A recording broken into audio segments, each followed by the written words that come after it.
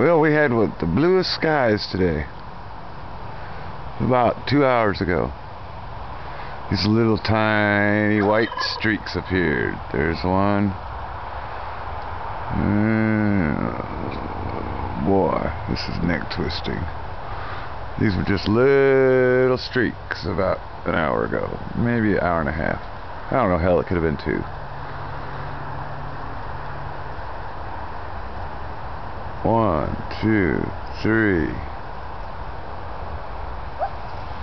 four, five, six.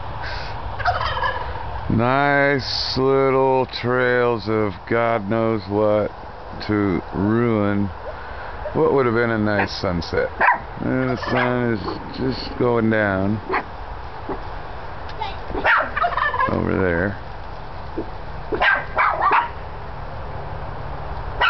And all this nonsense gets sprayed on us. Why? Why? Why is this happening?